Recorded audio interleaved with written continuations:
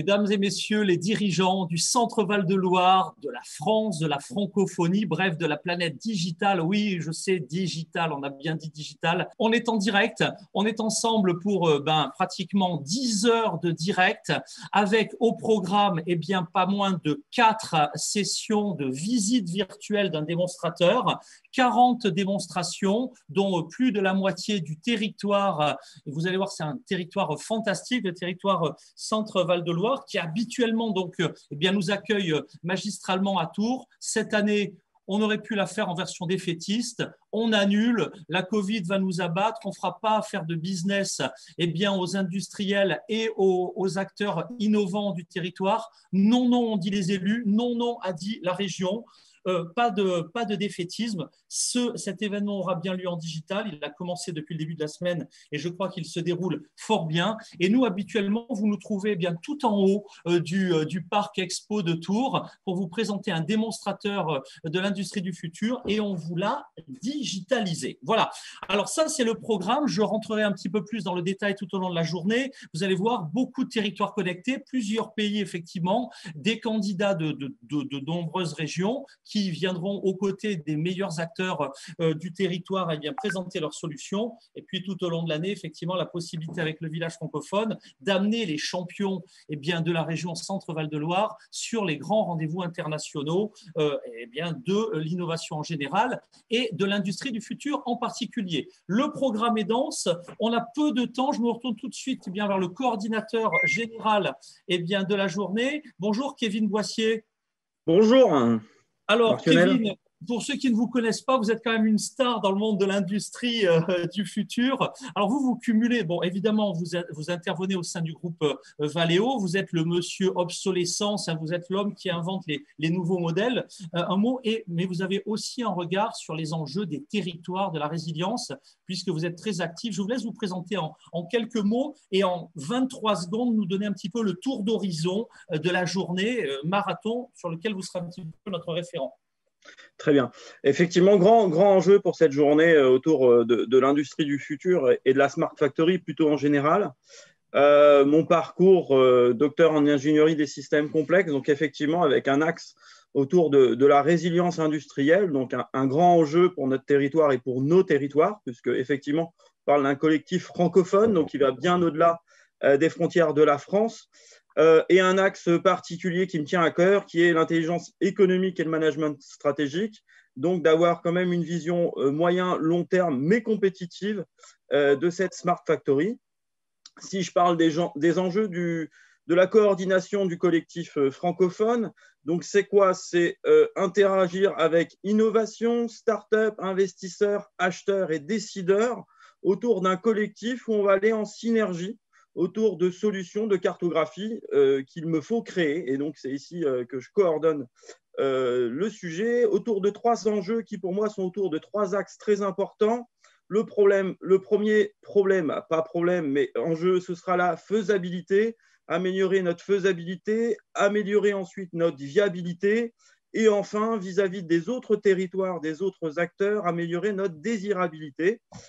Pour moi, la thématique industrielle, elle va aller autour de la relocalisation, la redynamisation locale, la, la colocalisation qui est très très à la mode, c'est-à-dire le côté très collaboratif de cette industrie, mais enfin, surtout, ne pas l'oublier, la production verte et nos enjeux éco-responsables, puisque effectivement, c'est l'avenir de nos enfants.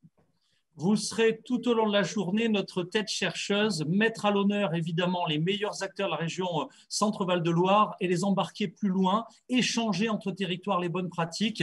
Merci hein, pour tout ce que vous faites dans le cadre du collectif Industrie. Alors, vous le savez, on a aussi des partenaires médias. L'un d'entre eux, un des plus fidèles euh, de Las Vegas, moment du CES, sur tous les territoires, Rénal Verquin est avec nous. Quand on parle de ville intelligente MAG, Rénal Verquin, ben évidemment, les territoires, comme le dit parfois ben, certains, certains élus. C'est un, un langage un peu marketing, il y a quelque chose de très fort derrière, Renald Verquin. Merci euh, Marc Lionel. En effet, euh, le Ville Intelligente Mag euh, est un média qui a été créé il y a à peu près cinq ans, principalement pour rendre lisible le monde de l'évolution de la smart city, en l'occurrence, puisque c'était surtout un vocable technique qui était orienté. Je crois que aujourd'hui, on a vu que cette accélération, on l'a fait ensemble sur différents événements comme Hannover Messe, le SXSW d'Austin ou le dernier CES. Ces événements ont pour but surtout de permettre un apprentissage et une meilleure appropriation des outils.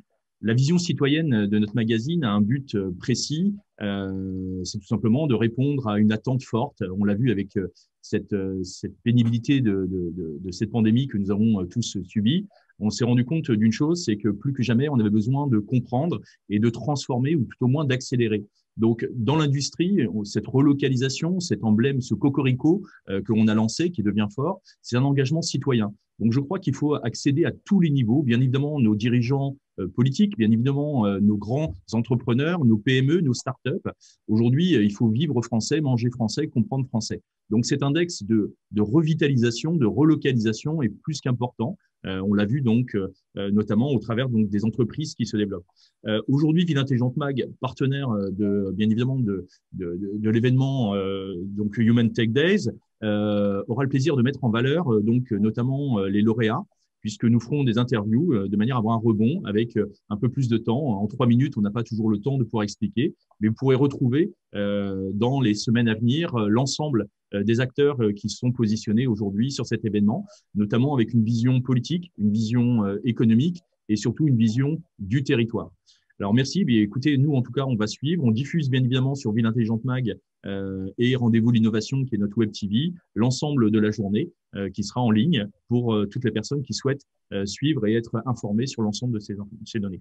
Merci, Ville Intelligente Mag. Merci euh, Planète Robot qui euh, également eh bien, diffuse tout au long de la journée euh, nos travaux. Et puis ce soir, à partir de 16h, parce que la région Centre-Val de Loire est un territoire d'excellence en industrie, la région Centre-Val de Loire est un territoire d'excellence en logistique, transport et supply chain. Voilà. Alors la transition est toute trouvée. Évidemment, pour tout de suite laisser la parole à Valentino Gambuto. Bonjour, bonjour Valentino et merci. Eh bien, alors je presque envie de dire pour la troisième ou la quatrième fois d'accueillir un démonstrateur. Aujourd'hui, c'est très particulier, euh, euh, Valentino. Alors, je, rappelle que vous êtes l'élu en charge, donc vous êtes conseiller régional en charge du numérique au sein de la région euh, Centre-Val de Loire.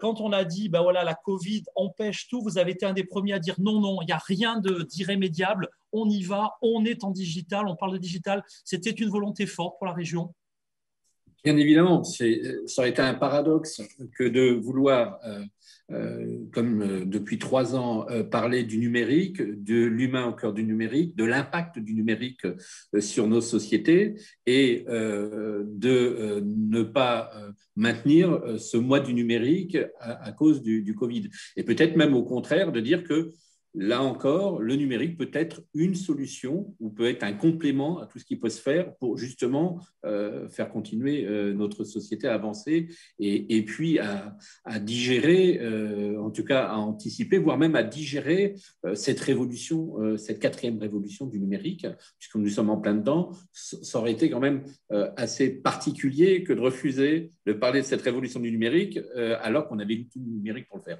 Donc oui, c'est dommage pour le démonstrateur, parce que l'an dernier, on avait, on vu aussi déjà un démonstrateur de, très grande qualité qui avait suscité beaucoup, beaucoup de, visites et puis qui a été très apprécié. Mais là, on va voir aujourd'hui, euh, j'en suis convaincu, euh, euh, qu'on peut, faire, peut faire aussi bien, en tout cas aussi intéressant. Juste vous rappeler, si, vous le permettez, la hein, de, ce, de, ce, salon, qui donc, comme vous le disiez, aurait dû se, se, passer aujourd'hui au Vinci. C'est à l'origine, hein, notre président François Bonneau avait souhaité la mise en place d'un conseil régional du numérique. D'ailleurs, nous avons été la première région à mettre en place ce conseil régional du numérique, qui était constitué de tous les acteurs du numérique, que ce soit la formation, que ce soit l'éducation, que ce soit l'industrie, évidemment, que ce soit de la culture. Et euh, au lieu de penser le numérique en silo, il y a eu cette volonté d'avoir une semaine d'abord du numérique, et dans lequel on avait un certain nombre de, salons culturels et, industriels, bien évidemment, qui étaient deux pôles importants, et aussi un certain nombre d'actions labellisées HTD sur tout le territoire. Un territoire avec un écosystème très dynamique, vous l'avez dit et je vous en remercie, très dynamique, qui nous a valu d'ailleurs hein, une reconnaissance, puisque le territoire est, reconnu French Tech, mais tout à l'heure, Julien Dargues nous en parlera, nous en parlera très bien. Donc voilà ce qu'on voulait mettre en avant, mais surtout la grande réflexion qui était menée et qu'on va mener aussi aujourd'hui, je le sais, dans, l'industrie, c'est l'humain là-dedans. Euh, l'humain, notre société, notre environnement au cœur du, numérique. C'est-à-dire que euh, si ça paraît une évidence, euh, quelquefois emporté par le numérique, par toutes les évolutions que ça peut apporter, est-ce qu'on est toujours au, avec comme seule, en tout cas, volonté première, c'est la personne humaine, son évolution, euh, les emplois de demain, les emplois d'aujourd'hui et de demain, la formation, euh, les productions doivent-elles être. Euh, est-ce que le numérique peut nous servir, et cette quatrième révolution, à, à garder de l'emploi, ou plutôt est-ce que aussi ça peut être un, risque si euh, on, on, prend mal ce virage de, euh, de, cette quatrième révolution. Donc voilà, c'est toutes les questions en tant que politique euh, que, j'amène, que je pose et, sur lesquelles je vous entendrai débattre avec, grand, plaisir. C'est cette quatrième révolution, qu'est-ce qu'elle va apporter et comment nous, politiques, devons-nous l'accompagner et permettre un certain nombre de choses et en interdire euh, vraisemblablement, en tout cas en réguler, en réguler d'autres. Donc c'est un discours très politique que je vous amène à un moment où vous êtes très technique, mais c'est notamment euh, notre grande préoccupation. Moi, je le vois parce que dans mon autre étiquette, je suis chef d'entreprise, je vois bien euh, cette évolution. Euh, je sais bien que demain, certaines de mes machines, je les, je les réparerai grâce à, des pièces que je, que, que je, je fabriquerai moi-même en 3D. Il y a un certain nombre de choses, ce sont des révolutions extraordinaires pour, nous. Il y a d'autres choses sur lesquelles on peut s'inquiéter. si vous me permettez encore 30 secondes, je, je, voyais il y a peu de temps, dans le cadre de la personnalisation de nos productions en série. Euh, je voyais il y, a, peu de temps euh, le fait de pouvoir aller voir un tailleur qui, qui, vous scanne et puis qui vous fait produire votre costume intégré directement dans une production. Pour Alexandra. C'est quelque chose d'extraordinaire aujourd'hui. Demain, où sera faite la production Puisque déjà, on a un choix entre une production Chine avec un peu plus de temps, un peu moins de prix, ou une production France avec un peu moins de temps. Donc, je suis convaincu que dans cinq ans, on aura ce type de, de, de service un peu partout. Donc, comment adapter et la formation de nos personnels, et la vente, et euh, le commerce entre nous. C'est toutes ces questions-là qui sont des questions très importantes pour nous, politiques, qui devons anticiper euh, cette révolution euh, qui est déjà en route un grand, grand, grand merci d'abord pour votre souhait, c'est-à-dire je sais que euh, ce Human Tech Day, c'est un événement qui a maintenant pris une place très importante dans le paysage économique et digital du territoire. Et vous, l'avez, vous avez raison, il y a évidemment des enjeux économiques forts, mais aussi des choix politiques à l'heure où des grandes plaques, c'est un des combats du village francophone, c'est la plaque francophone, comment elle peut faire le poids par rapport à des milliards de sinophones ou d'anglophones, comment euh, travailler avec les germanophones, les hispanophones, les lusophones. Et évidemment, tout est politique parce que derrière une langue, il y a aussi des valeurs, il y a aussi évidemment des orientations. Et donc, votre présence pour lancer nos débats est évidemment euh, le meilleur des gages. Valentino, vous revenez quand vous voulez dans la journée, vous nous faites signe, Zoom, c'est très simple. Vos équipes ont les liens. Si vous avez euh, euh, dans la journée le souhait d'intervenir, de, voilà, de, de on est avec vous. Ça va être très, très long, mais je pense très, très bien. On aura beaucoup d'invités. Voilà. Merci, Merci. évidemment de rester sur ce, temps fort d'inauguration. Si votre agenda, hélas, ne vous le permet pas, je, vous, euh, je vous salue d'ores et déjà, mais c'est vous qui décidez. Euh, Michel, euh, Sébastien, Julien, Jérôme, dans quelques instants. mais avant tout, je vais passer la parole puisqu'on a vraiment, c'est un peu le clin d'œil qui a été souhaité pendant toute cette journée. C'est la volonté également du digital, c'est de se dire, puisqu'on est en digital, c'est pas toujours facile de mobiliser d'une région à l'autre les acteurs avec qui on travaille. Ce sera peut-être aussi un des apports d'une prochaine édition de Human Tech Days physique, mais connecté avec d'autres territoires. Et donc, on s'est dit tout au long de la journée, on aura comme ça des invités. Alors, le premier euh, focus, le premier territoire sur lequel euh, on va faire euh, un, un, petit clin d'œil, eh bien, il est à Mulhouse. Le KM0, c'est impressionnant. Bonjour Patrick Rhein. Vous êtes donc dans vos locaux à Mulhouse, donc au KM0. 0. Alors, en 1 minute 30, là encore, puisque vos candidats seront également présentés tout au long de la journée, on vous retrouvera dans l'après-midi, mais l'importance de créer des ponts entre les territoires d'excellence francophone ou pas d'ailleurs, parce que vous travaillez sur la germanophonie à Mulhouse, mais cette importance, et puis un mot sur le KM0, et le tout, allez, en une minute, une minute trente, Patrick. Merci Marc En effet, les réseaux, c'est important et tout le monde le sait, les entreprises se développent par des réseaux, dans des réseaux, mais euh, les entreprises et les réseaux ont besoin de ponts. Il faut des ponts qui permettent justement de, rejoindre les réseaux et ces ponts, ben, en fait, ce sont des écosystèmes, ce sont euh, des pôles, ce sont des, centres euh, comme le CETIM qui vont permettre justement de fédérer, de mutualiser des, besoins, de, trouver des solutions à des entreprises qui recherchent des solutions Industrie 4.0. Alors, KM0 à ce niveau-là est aussi un pont, et peut-être, je l'espère, un pont entre le Grand Est et, le centre Val-de-Loire à, construire. Donc le KM0 est un lieu, Steve Jobs disait, la partie la plus importante de mon entreprise est la machine à café, puisque c'est là où les, où les ingénieurs rencontrent des commerciaux. Et eh ben, le KM0 est une énorme machine à café de 11 500 mètres carrés, où nous avons des étudiants, il y a Epitech, il y a 42 qui va s'installer, nous avons le CNAM, donc près de 1000 étudiants qui seront présents, aujourd'hui on est déjà à pratiquement 600 étudiants, mais avec 42, ça fera 1000 étudiants. Nous avons des entreprises industrielles, nous avons un démonstrateur du CETIM euh, qui est présent au KM0, qui est aujourd'hui sur 300 mètres carrés, mais qui va passer à 1000 mètres carrés d'ici euh, quelques mois. Des grosses entreprises hein, comme Eiffage, qui a mis un centre de recherche dans l'intelligence artificielle, ou Sauter, une société suisse. Euh, nous avons aussi des incubateurs, Village Baïséa, le CEMIA, qui est l'incubateur de la région. Et bref, en fait, on, joue aussi des micro-ponts entre tous ces acteurs et l'idée, c'est de les faire travailler ensemble et développer ensemble des nouveaux projets.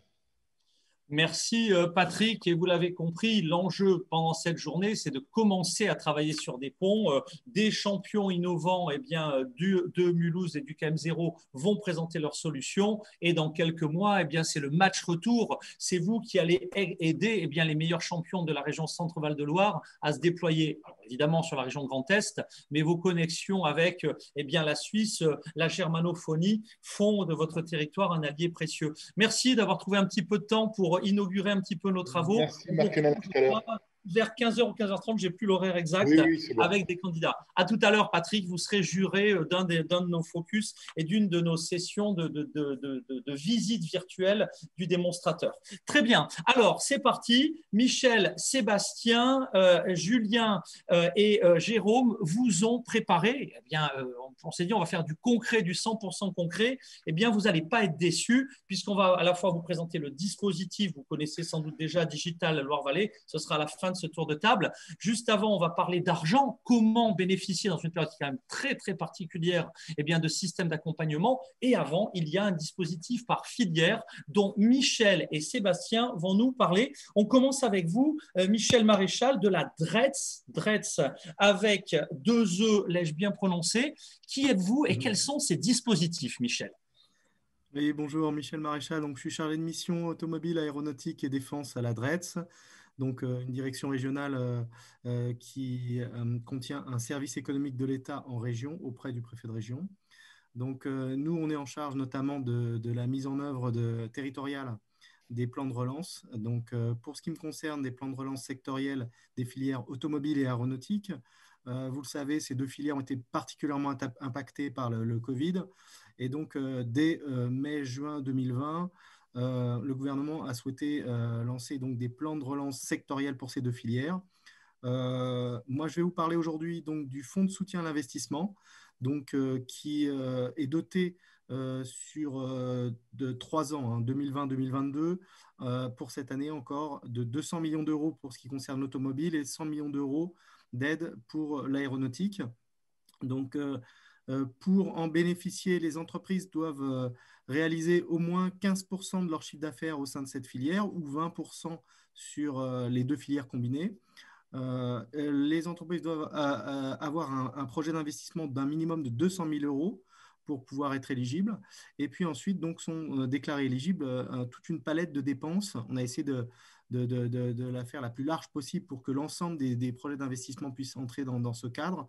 Donc, vous avez bien évidemment tout ce qui est l'acquisition de nouveaux matériels, de nouvelles machines, la mise en place de euh, nouveaux euh, sites de production, de nouvelles lignes de production au sein des, sites. Euh, tout ce qui a trait à l'usine 4.0, donc la numérisation, la digitalisation, la robotisation, toutes les dépenses relatives à la recherche, développement et l'innovation, et enfin euh, tout ce qui a trait à l'amélioration de la performance environnementale de votre site de production. Vous voyez beaucoup de, types de dépenses éligibles. Euh, alors, il ne faut vraiment pas hésiter à, déposer sa candidature. Euh, on procède donc par relève nationale. les dossiers sont, sont, à déposer sur la plateforme de BPI France avec la prochaine relève qui sera le 1er juin à 12 heures. Donc ça, c'est la, la troisième relève de l'année. Mais sachez qu'il y a une quatrième relève qui a été prévue, donc qui est en la première semaine de septembre. Et donc, ça vous laisse encore le temps pour les entreprises qui, qui ne disposent pas encore de devis ou qui n'ont pas encore totalement formalisé leur projet d'investissement de, pouvoir euh, déposer une candidature. Si vous êtes lauréat, vous avez deux ans et demi pour euh, effectuer l'investissement. Donc, ça vous laisse le temps. Euh, on, a toujours l'impression que quand on dépose une candidature, c'est pour l'année d'après. Là, même si vous avez des investissements programmés en 2023, vous pouvez déposer une candidature. Sachez que tout type d'entreprises ont été déclarées lauréates. Hein.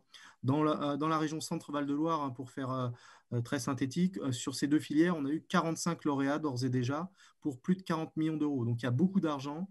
Euh, il y a une aide dite Covid qui permet aux entreprises de bénéficier de, 800 000 euros hein, avec un taux d'aide de 50%. Donc vous avez un, projet d'investissement d'un million six. Vous pouvez toucher 800 000 euros d'aide Covid qui s'arrête fin 2021. Donc, et, ces, et, ces, aides donc, s'appliquent tant aux PME qu'aux ETI, mais également aux TPE comme aux grandes entreprises. Donc ne vous bridez pas, euh, déposez des candidatures. Euh, ces appels à projets sont sélectifs. Il y a 30% de lauréats en 2021 euh, et priorité donnée aux nouveaux candidats. Donc vous trouvez mes, coordonnées, nos coordonnées hein, des différents référents sur l'automobile aéronautique sur la plateforme de BPI France. Donc mes coordonnées téléphoniques et mail. N'hésitez pas à me contacter si vous avez un projet d'investissement. Et voilà, je vais passer ah. la parole à Sébastien pour les autres filières un, dispositif donc hyper opérationnel sur BPI France, également les coordonnées sur la plateforme donc euh, des Human Tech Day. Sébastien, on complète le dispositif avec votre propre euh, regard euh, sectoriel. Sébastien Pacto, je suis chargé de mission énergie et agroalimentaire. Donc pour le, volet nucléaire, le plan de relance, c'est assez proche de l'île et de l'aéronautique indiqué par Michel tout à l'heure. Donc, il y a un volet modernisation pour la relocalisation et la euh, diversification des activités, la transformation numérique et, euh, l'amélioration de la performance environnementale, qui est doté de 70 millions d'euros euh, pour le volet nucléaire. Et un volet un peu plus usine du futur avec des jumeaux numériques, d'impression 3D, usine connectée, fabrication additive, qui est doté de 50 millions d'euros. Le, les dates de relais sont identiques à celles de, l'automobile et, et l'aéronautique, 1er juin à, midi et euh, début septembre. Euh, ensuite, nous avons également un autre dispositif un peu plus euh, transverse pour l'ensemble de, l'industrie, et le guichet industrie du futur. L'année dernière, nous avons eu au niveau national près de 7800 dossiers en France pour 7 milliards 2,7 milliards d'euros d'investissement. Euh, ce dispositif a été renouvelé en 2021 avec 1 euh, milliard d'euros d'investissement euh, pour, pour 175 millions d'euros de subvention. Donc, le guichet a été très sollicité et rapidement fermé. Il a duré à peine 10 jours. Et on s'attend à une réouverture début, enfin 2022.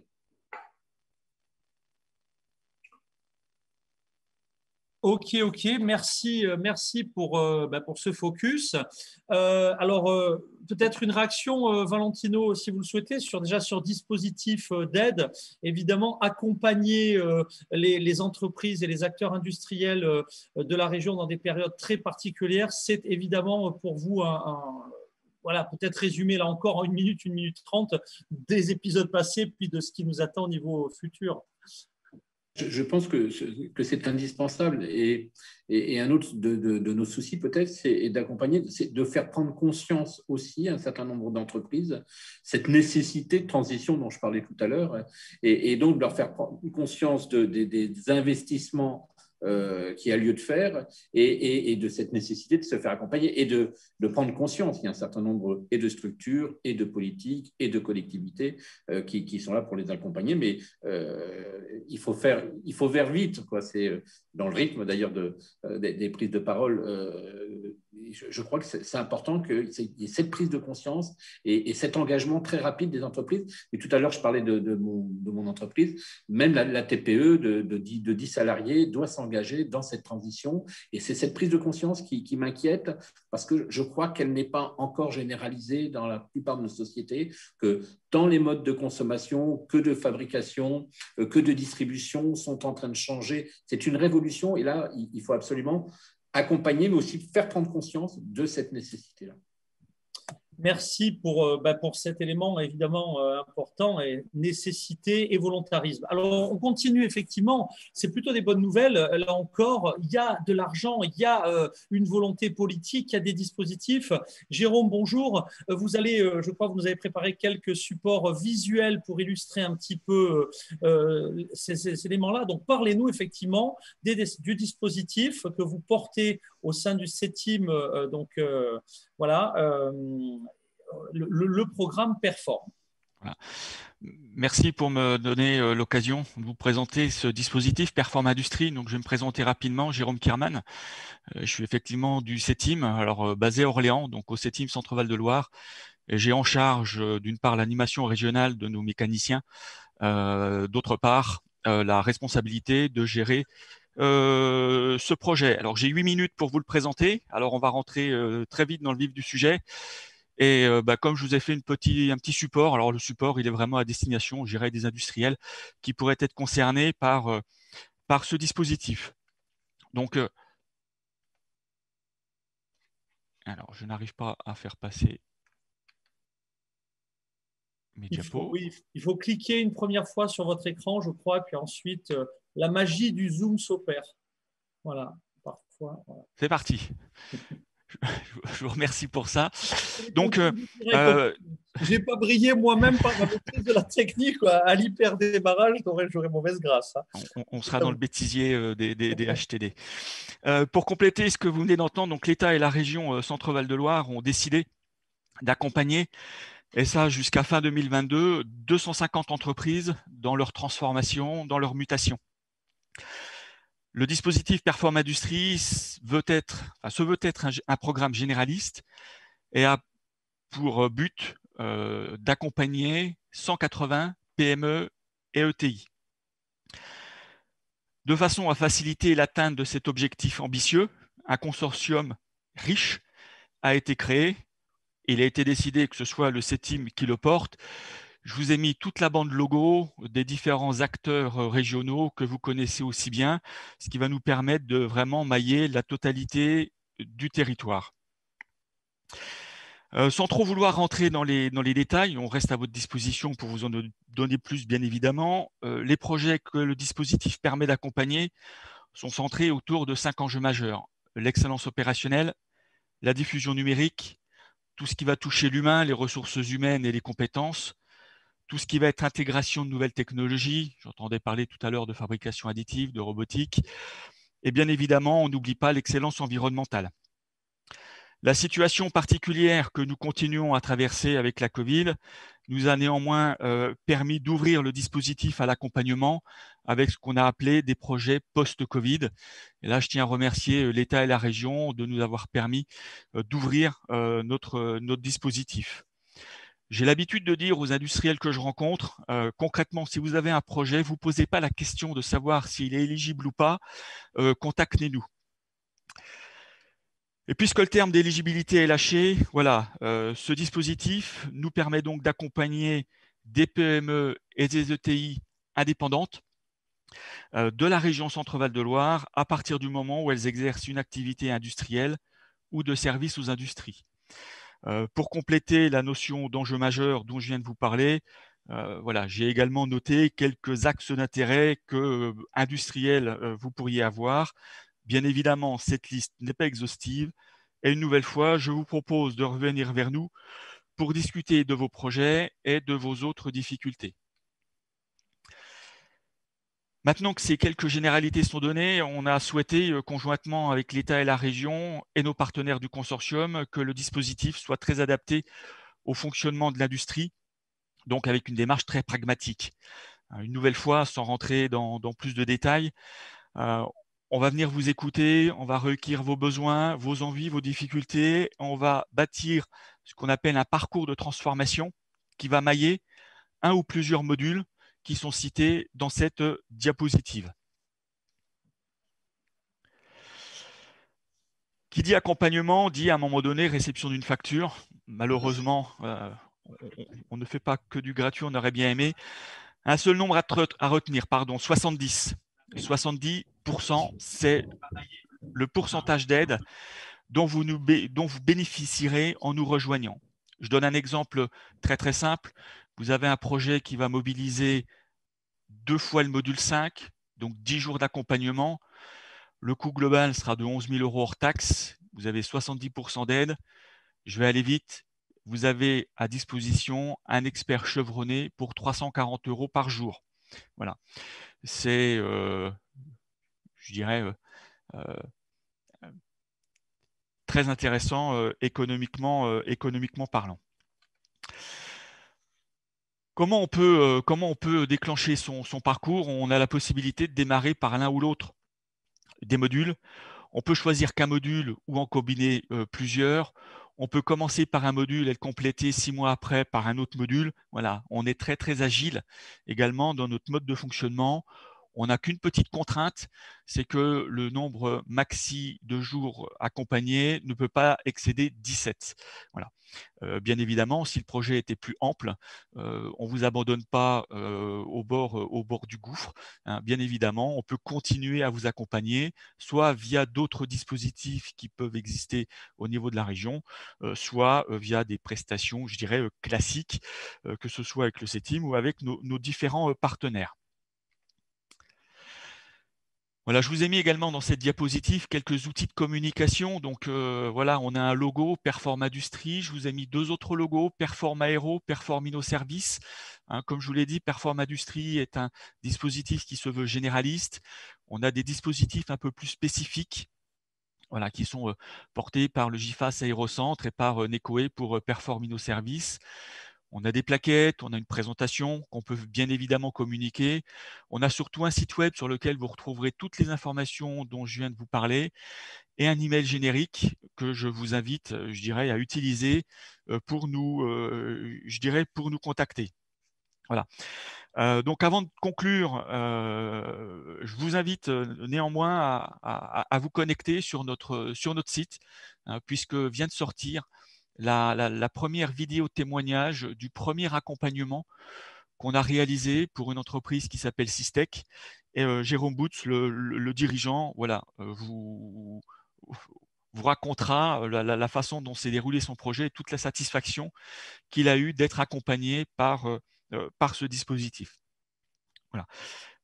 pour terminer, à la demande également de nos financeurs, voilà, je voudrais simplement faire un tout petit focus sur euh, le dispositif euh, Perform InnoService euh, qui est piloté par, par Necoe. pour une raison simple, hein, c'est que même si moi je suis, je suis technologue, j'irai de par mon métier premier, peut-être que la technologie n'est pas la seule réponse dans les besoins de transformation et de mutation que vous pouvez avoir et l'innovation peut également passer par les services. Voilà, c'est pour la raison euh, pour laquelle ce, dispositif existe. Donc, si vous, en, enfin, si vous voulez en savoir plus, bah, n'hésitez pas à vous rendre sur le site de Necoe, hein, necoe.fr. Voilà. Euh, mon intervention est terminée. Je ne sais absolument pas si j'ai respecté les, les 8 minutes. J'espère avoir été euh, ne vous inquiétez pas, Jérôme, c'était parfait, c'était très clair et je le pense très utile pour eh bien, les acteurs de, de, l'industrie, euh, TI, euh, euh, PMI et puis même les très très petits acteurs qui veulent se déployer. Je pense que des, des réponses seront là. Voilà, alors on va terminer le, tour de table, eh bien, le, tour de table des, des intervenants avec effectivement, last but not least, en bon français, eh bien, un acteur clé hein, dans le dispositif. On a beaucoup parlé d'industrie. Vous savez que l'industrie sans l'innovation, et devrais-je dire presque réciproquement, eh bien, n'ont pas, n'ont pas d'avenir. Il y a dans la région Centre-Val de Loire eh bien, des tas d'acteurs qui, euh, depuis longtemps, euh, se battent pour promouvoir, pour fédérer, pour canaliser les belles énergies sur le digital. Julien est un des, dirigeants les plus emblématiques hein, sur le sujet. Et il, a, il va vous parler bien évidemment de la dynamique de Digital Loire-Vallée. Bonjour Julien, merci d'avoir su trouver du, du, temps pour être dans cette session euh, d'ouverture. Bonjour Marc-Lionel, bonjour, euh, bonjour à tous. Alors, euh, Digital Loire-Vallée, allons-y, dans son rôle en général et puis également dans l'univers de la Smart Industry. Mhm. Alors, Digital Loire-Vallée, c'est une association qui, qui vient d'être créée vraiment, euh, c'était quasiment hier, donc euh, on n'a pas encore de, site internet et par contre, vous pouvez nous retrouver sur, LinkedIn, Twitter, Facebook, etc. cette association, elle est née en fait d'une rencontre, puisque moi je suis président du board de la French Tech Loire-Vallée depuis 2015, je crois, donc qui, est en activité et qui, structure et qui anime tout l'écosystème des acteurs de, de, de l'innovation et du numérique en, en région centre déjà depuis quelques années. Mais on a voulu créer cette association pour euh, faciliter les, des ponts avec, euh, avec l'industrie en euh, mutualisant en fait sous une seule structure les acteurs de la French Tech et de la French Fab, de telle façon à pouvoir accélérer en fait le, fait de pouvoir mettre plus de tech dans la Fab. Donc en fait, c'est né d'une rencontre avec Jean-Louis Jarry, hein, qui, est, ambassadeur de la, French Fab en, en région centre, et on se connaissait déjà depuis euh, quelques années. On s'est dit, bah, c'est euh, évident, il faut, euh, il faut qu'on on puisse faire quelque chose ensemble parce que la tech sans la fab, eh bien, c'est plus grand-chose. Enfin, il y a des services grand public, bien sûr, mais il y a beaucoup de nos entreprises qui travaillent quand même sur des marchés B2B et c'était important pour nous de, de, de, les fédérer au sein d'une seule, seule, structure. Euh, un deuxième pilier de cette association, c'est euh, également de, les accompagner dans leur développement et donc euh, d'être tourné également vers l'extérieur. Hein, on, a vocation à accompagner nos membres dans leur développement au niveau international, notamment avec, avec DevUp, hein, qui, est l'agence d'attractivité économique de la région et qui a, aussi un, maillage de, de partenaires à mais euh, c'est le cas aussi de la French Tech. Hein. Il, y a, plus d'une centaine de communautés euh, French Tech dans, le monde. Et donc, euh, on va pouvoir aussi s'appuyer sur, sur nos camarades pour accompagner nos acteurs vers, vers l'international. Et puis, un des troisièmes piliers de, notre association, c'est aussi de, travailler sur, sur la, formation des, des, talents dont on a besoin pour, pour aujourd'hui, mais aussi pour demain c'est vrai qu'on est sur des, métiers où euh, on a des difficultés à, recruter. Et donc, euh, si, euh, si on ne veut pas que le, fossé entre l'offre et la demande qui, qui existe hein, aujourd'hui, soit plus important d'ici 2030, eh bien, les acteurs, les acteurs du territoire doivent se mobiliser pour mener des, actions afin de, de, de, donner envie finalement à des jeunes de se tourner vers les, les filières qui, euh, qui vont déboucher sur, euh, sur les métiers importants pour, euh, pour nos industries. Et ça, on est convaincu que ça se forme dès le plus, dès le plus jeune âge, toute la partie image-métier.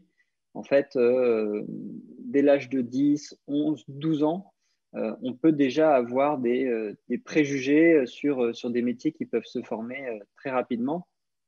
je donne souvent l'exemple de si on a un tonton qui est électricien, eh bien, à, 12 ans, en fait, on, se forme euh, déjà une image de qu'est-ce que c'est que le métier d'électricien au travers de son tonton. Et euh, ça peut déterminer euh, énormément de choses sur la suite du, parcours de, nos jeunes. Donc, le confinement n'a pas aidé, hein, puisqu'il y a beaucoup de, jeunes qui ont été spectateurs de, leurs parents en train de travailler toute la journée derrière un ordinateur et peuvent se dire que c'est peut-être pas ça qu'ils ont envie de faire. Ils n'ont pas envie de travailler derrière, des ordinateurs.